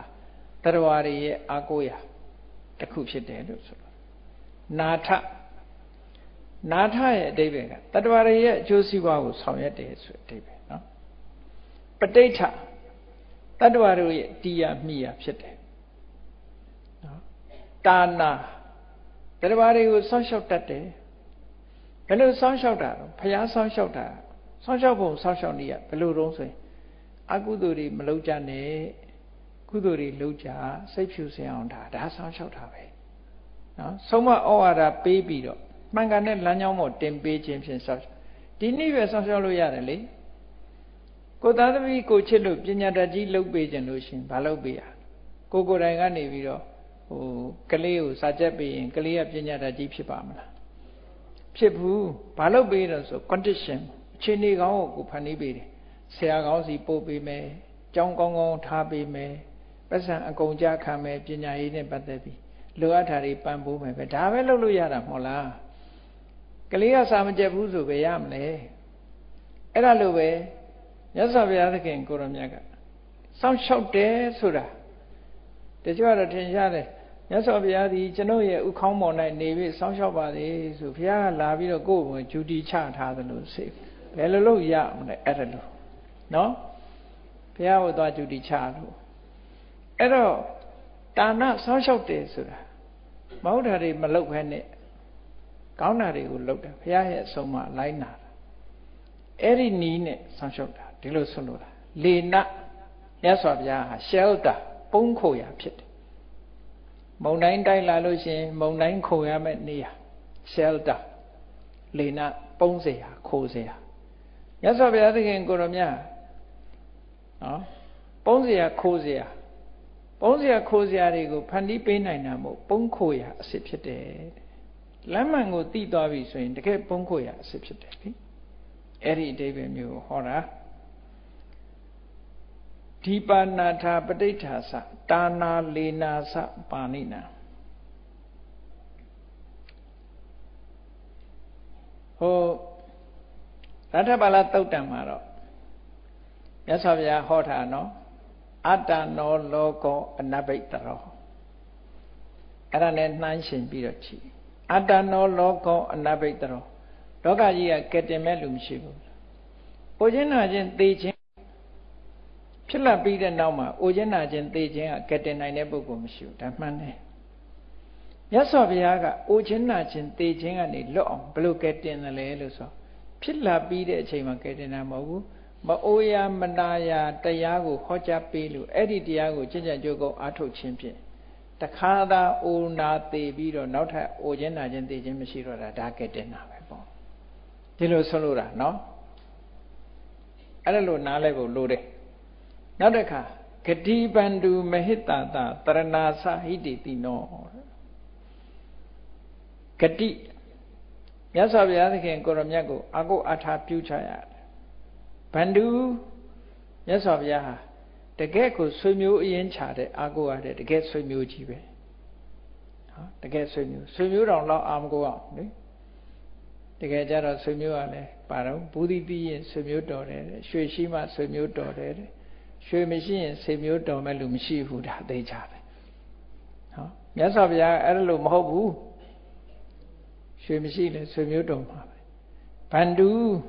တကယ့်ကိုဆွေမျိုးအစ်စ်ဖြစ်တယ်မဟိတတာဒီစကားလုံးလေးကတလုံးတည်းပဲဖြစ်ပေမဲ့လို့ရှင်းတော့ကမဟိတတာဆိုတဲ့စကားလုံးနဲ့အဓိပ္ပာယ်ပြန်တဲ့အခါမှာတီးရမိရအာကိုရဖြစ်တယ်ဆိုတော့ ရှေ့ကစကားလုံးတွေနဲ့သွားအဓိပ္ပာယ်သွားတူးနေတယ်ပဋိဋ္ဌာတို့နော်တာနာတို့အဲ့ဒါတွေနဲ့အဓိပ္ပာယ်သွားတူးတယ်အဲ့တော့ဒီစကားလုံးရဲ့အဓိပ္ပာယ်အမှန်အတက္ကရာတွေအဲပရိကြီးတီကာတို့ဘာတို့ကလည်းဒီဟာကိုမှန်အောင်ဒီအဓိပ္ပာယ်ဟာမဟိတာတာမဟိတာတာသို့မဟုတ်မဟိတာတာဆိုတဲ့ပုဂ္ဂိုလ် မဟာအိတ်တတာအိတ်တတာဆိုတာကြတော့လေးသမားလို့အဓိပ္ပာယ်ရတယ်မဟာအိတ်တတာလေးသမားကြီးတစ်ဖွဲ့ဖြစ်တယ်ဆိုဒီလိုအဓိပ္ပာယ်မျိုးကလည်းဒီနေရာမသိတော့ဘူးအဲ့တော့အာကိုရာမိကိုရာဆိုတဲ့အဓိပ္ပာယ်ကိုဖွင့်ရတယ်ဖွင့်တော့ဒီအဓိပ္ပာယ်တဲ့ကောင်းတဲ့အဓိပ္ပာယ်ကိုဒီမြန်မာနိုင်ငံမှာပါဠိစာပေမှာတကယ့်ကိုထူးထူးချွန်ချွန်တတ်တဲ့ပဇွန်တော်ရွှေချင်းကျောင်းတိုက်ကတပြေကံဆရာတော်ဘုရားကြီးဆိုရှိတယ်နော် အမတမထူးချွန်တယ်ပမာပြေမှာပါဠိပညာရှင်တွေအားလုံးဒီပါဠိတတ်တဲ့ဘုန်းကြီးတွေလောကစတတ်ဘုန်းကြီးတွေလောကကအားလုံးသိတယ်ပေါ့ဒါတရားဓမ္မတွေကတော့အကုန်သိချင်မှသိမယ်စတတ်တဲ့ဘုန်းကြီးတွေလောကမှာဆိုရင်ဒီဆရာတော်ကြီးရဲ့ပညာကိုလေးစားကြရတယ်အားလုံးအမတမထူးချွန်တဲ့ဆရာတော်ကြီးဝိသုဒ္ဓိမဲ့ဏိဒန်းကြီးကိုရေးထားတာကို ပါဠိဂါထာတွေနဲ့ပြန်ပြီးတော့ရေးတဲ့အခါမှာရှင်ဗုဒ္ဓဂောသားတို့လက်ရလောက်ကောင်းအောင်ရေးနိုင်တဲ့ပါဠိဘာသာကိုလက်ရကောင်းကောင်းရေးနိုင်တဲ့ဆရာတော်ကြီးအဲ့ဆရာတော်ကြီးကဒီပါဠိရဲ့ဖြစ်နိုင်တာကိုသူကအတိတ်ပဲဖော်ထုတ်ပေးသွားတယ်ဒါတူသူအစဆုံးပဲနော်ပထမဆုံးဖော်ထုတ်ပေးတာအဲ့ပေကြီးနေတဲ့အတဲ့ကိုရှာဖတ်ကြည့်မဟိတတာဆိုတဲ့နေရာမှာသူဖော်ထုတ်တဲ့အတိတ်ပဲက မဟိတတာဆိုတဲ့ပါဠိမှာတဲ့တကယ်ဖြစ်တဲ့နာတော့ဘာတော့ဆို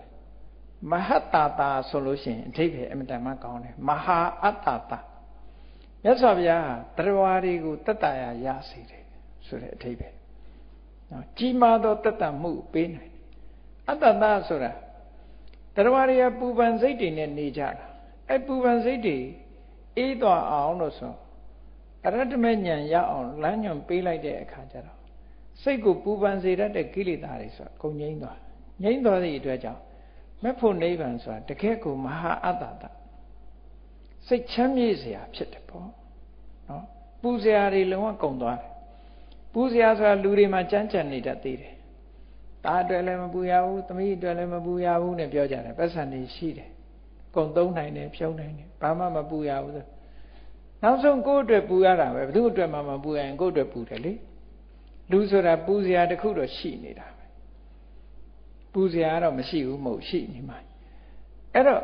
ရတ္တမေရတ္တဖို့ရောက်သွားယဟန္တာဖြစ်သွားပြီဆိုရင်သူ့မှာပူစရာမရှိဘူး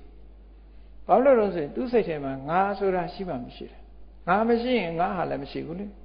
လူတွေပူနာငါနဲ့ငါဟာအတွက်ပူနေတာကိုငါလည်းမရှိဘူးဆိုရင်ငါဟာလည်းမရှိဘူးငါနဲ့ငါဟာမရှိတော့ဘူးဆိုရင်ဘာပူမှာတော့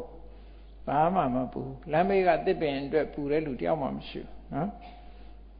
လမ်းမေးကမြက်ပေါ့မြက်ကိုပူတဲ့လူတယောက်မှမရှိဘူးလေငါလုံးဝမတတ်မှတ်တာငါဟာလုံးဝမတတ်မှတ်တာလမ်းဘေးကအမိုက်ပုံးကိုပူတဲ့လူလေတယောက်မှမရှိဘူးဘာဖြစ်လို့တော့အဲ့အမိုက်ကိုငါလုံးဝမထင်တာဟိုငါဟာလို့လည်းမထင်ဘူးလေအဲအမိုက်ထဲမှာရွှေရွှေပါလို့ရှိရင်တော့အဲ့ဒီမှာငါဟာထင်ချင်းထင်နေဦးမှာအဲ့ကြပူကောင်းပူလေဦးမှာ အဲ့တော့ဒီမဟိတတာဆိုတဲ့ပါဠိကိုဆရာတော်ကြီးကမဟတတာဆိုတာဖြစ်နိုင်တယ်လို့ဒီလိုပါဠိကိုမှန်ကန်အောင်တက်မှတ်ပေးသွားတဲ့ဆရာတော်ကြီးရဲ့ဉာဏ်စွာအမှန်တမ်းကြီးမားတယ်လို့ပြောရမယ်ဒါပါဠိပညာရှိတိုင်းကမြန်မာပြည်မှာဒီပါဠိကျွမ်းကျင်တဲ့ဆရာတော်တိုင်းကဝန္တာအာရဖြစ်ကြတယ်ဒီပါဠိမဟာတာတာတဲ့ကြီးမားသောတက်တံမှုကိုပေးနိုင်တယ် သို့မဟုတ်ကြီးမားသောမိကိုရာကြီးတစ်ခုပေးနိုင်တယ်လို့ဒီလိုအိဗယ်ရတယ်တရဏာစဟိတိတိနောတရဏဆိုတာတရားတွေပေါ်မှာကြောက်ရောက်မဲ့ဘေးရန်အန္တရာယ်ကိုဖယ်ရှားတာတရဏတရဏဂုံဆိုအဲ့ဒါနော်မကြောက်ရောက်အောင်ဖယ်ပေးနိုင်တယ်ဖယ်ပေးတယ်ဆိုတာပါလဲဟိတေပဝတ္တနေနအာဟိတာစနိဝတ္တနေန အကျိုးစီးပွားတွေကိုဖြစ်ထွန်းစေတယ်အကျိုးမဲ့ဖြစ်စေမဲ့အရာတွေကိုဆုတ်ခွာသွားစေတယ်ဆိုလိုတာကအကုသိုလ်တွေမလုပ်ဘူးကုသိုလ်တွေသာလုပ်မယ်ဆိုရင်ကုသိုလ်တွေကိုလုပ်စေခြင်းဖြင့်အကျိုးစီးပွားကိုဖြစ်ဖြစ်ထွန်းစေတယ်အကုသိုလ်တွေမှရှောင်စေခြင်းဖြင့်အကျိုးမဖြစ်တဲ့အရာတွေကနောက်ဆုတ်သွားစေတယ်အဲ့ဒီနည်းနဲ့တတ္တဝါတွေပေါ်မှာကြာရောက်တဲ့ဘေးရန်အန္တရာယ်တွေကိုဖယ်ရှားတာတဲ့ဒီလိုဆိုလိုတာနော်အဲ့ဒါကြောင့်မို့တရဏ တရဏဆိုဘေးရန်အန္တရာယ်တွေကိုဖယ်ရှားဖျောက်ဖျက်ပေးနိုင်တဲ့အရေးချင်းတွေရှိကြတယ်ဟိတေတိနောတတ္တဝါတို့ရဲ့အကျိုးစီးပွားကိုအမြဲတမ်းရှာမိတော်မူလေးရှိတယ်ကျိုးစပွားကိုရှာတယ်ဆိုတာဒီလူအတွက်ကောင်းကျိုးချမ်းသာတွေဘယ်လိုလုပ်ရမလဲဘယ်အရာကောင်းကျိုးချမ်းသာဖြစ်မလဲမြတ်စွာဘုရားတွေဟာတရားတွေရဲ့အကျိုးရှိရာရှိချောင်းကိုအမြဲတမ်းဒီ လမ်းညွန်ပေးနေတာပေါ့အဲ့ဒါလို့လမ်းညွန်ပေးနေတဲ့ဂုံကြီးချင်းနေနဲ့ပြည့်စုံတယ်လို့ဟောဒီတုတ်တန်ကိုရွရင်ရွရင်နဲ့ဝန္တာကြည်နူးတဲ့စိတ်နဲ့ဒီလိုရွတ်တတ္တိဝကတ္တလောကတ္တတဗ္ဗေအေတိပရာယနာတတ္တိဝကတ္တနတ်နဲ့ကွာသောလောကတ္တတလောကလုံးရဲ့တဗ္ဗေလုံးစုံသောအေတိဤဖျားရှင်တို့သည်တတ္တိဝကတ္တလောကတ္တနတ်မြမာတွေပါဝင်တဲ့ လူပြည်လောကကြီးရဲ့ပရာယနာအာကိုးရာစင်စစ်ဖြစ်ပါတယ်ဆိုပြီးတော့နောက်ကနေရှ िख ိုးလိုက်တာတေတာဟံတိရတာပါတိဝန္တာမိပုရိတုတ်တမေပုရိတုတ်တမယောက်ျားမြတ်ဖြစ်တော်မူတဲ့မြတ်စွာဘုရားတို့နော်ပုရိတုတ်တမေတေတာဟံတိရတာပါတိ အဟံကျွန်ုပ်သည်တေတံထိုဘုရားရှင်ကိုရောမြတ်ကြီးတို့ရဲ့ပါရီခြေတို့ကိုတိရတာအုတ်ခေါင်းယရနာဖြင့်ဝန္နာမိရှိခိုးပါတယ်ပုရိတုတ်တမေယောက်ျားမြတ်ဖြစ်တဲ့ဘုရားရှင်ကိုရောမြတ်ကြီးတို့ဝန္နာမိယုတိမြတ်တို့လက်စုံမိုးကရှ िख ိုးပါတယ်လို့ဒီလိုဖះကိုရှ िख ိုးတဲ့အနေနဲ့ဒီအတ္တနာရိယတုတ်ပါရှေးဆရာတွေကစီကုံပြီးတော့ပေးတာဖြစ်ပါတယ်။ဒါကြောင့်မို့တရားချစ်ခင်သူတော်စင်ပြိဿပေါင်းတို့ အာတနာရိယတုတ်တံကိုရွတ်ဖတ်တရစေတဲ့ခါတိုင်းခါတိုင်းစကလုံးတစ်လုံးစီတစ်လုံးစီရဲ့အနှစ်သာရကိုသိရှိနားလည်ကြပြီးဖះကုံတော်တွေကိုမိမိတို့ရဲ့တဏ္ဍာစိတ်ထဲမှာစိတ်ထုံသွားအောင်တွေးတောဆင်ခြင်ပြီးတော့ရှ िख ိုးနိုင်ကြမယ်ဆိုလို့ရှိရင်ပြီးဝသောကုသိုလ်တွေကိုရရှိပြီးတော့အန္တရာယ်ခတ်သိမ်းဘေးရန်ခတ်သိမ်းကင်းငြိမ်းကြမှာဖြစ်တယ်လို့ဆိုတာအမတန်မှတေကြတာဖြစ်သောကြောင့်ဖះကုံတွေကိုအာယုံပြုပြီးတော့ ရှ िख ိုးနိုင်ကြပါစေကြိုးစားအားထုတ်နိုင်ကြပါစေကုန်တည်း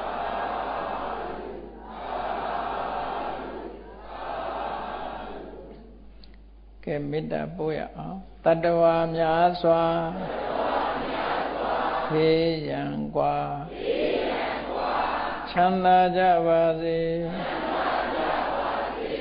တတ္တဝါများစွာ ဘေးရန်กว่าချမ်းသာကြပါစေမေတ္တာရေချမ်းသုံးငါဖြံငြိမ်းချမ်းကြပါစေမေတ္တာရေချမ်းသုံးငါဖြံငြိမ်းချမ်းကြပါစေသက်ရှိကျမ်း မာစိတ်ချမ်းသာလူရဆန္ဒပြည့်ပါစေသက်ရှိကျမ်းမာစိတ်ချမ်းသာလူရဆန္ဒပြည့်ပါစေဘုံလန္တာဒုက္ခပင်ကစားမေတ္တာပုံနေတုသင်္ကမမနောတရာတိတဝေတံဘဝယန္တုဒုက္ခန္တကာ မေတ္တာပုံနေတုသင်္ကမစုပေါင်းပူအပ်မေတ္တာတဟုရောင်ပြူပါဝင်ငွေလာမင်းနှင့်ရောင်ခြင်းရှဲယုံပေါင်းဆောင်ရခြင်းကြောင့်တဝေတံကျွမဲ့ဥတုံလုံးစုံများစွာတတ္တဝါတို့ဤမနောတရာတိမြမြဖြူစင်အေးကြည်လင်းသည့်ရေစဉ်ပြည့်တင်းစိတ်နှလုံးတည်ဟုသော ရေအိုင်ကြီးအတွင်း၌ဒုက္ခပင်သာစင်ထာဝရအေမြจิตာတာယာပွင့်လန်းချမ်းသာဒုက္ခတည်ဟုသော ကုမုဒ္ဒရာကြာပန်တို့သည် ဘောလန္တဝန္တာရှင်မျိုးဝမုံလူလျက်ကြည်နုဝဲကြုံဖူးပွင့်ကြကုန်သည်ဖြစ်၍ဒုက္ခနကလေအောက်လေတဲ့ရောရှက်သင်ပြန့်ပိတိတိဟုသောယနန်းတို့သည်ဘဝယံတုကောင်းစွာမသွေကြိုင်လိုက်၍နေကြပါစေကုန်တည်း